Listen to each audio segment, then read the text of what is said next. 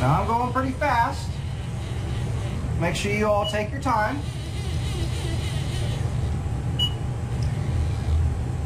That right there looks pretty good. So I'm gonna go ahead and I'm gonna hit cycle start after I close my door. Before we hit cycle start, I wanna make sure I am in edit and it says to run an MDI. So now I'll hit cycle start and we'll watch it set its offsets.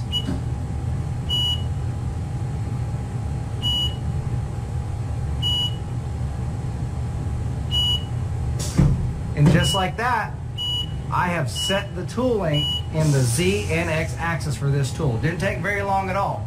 So what I want to do now is I'm going to handle away from my tool probe. And once I get a little bit far away from it, I want to go ahead and put it up. So I'll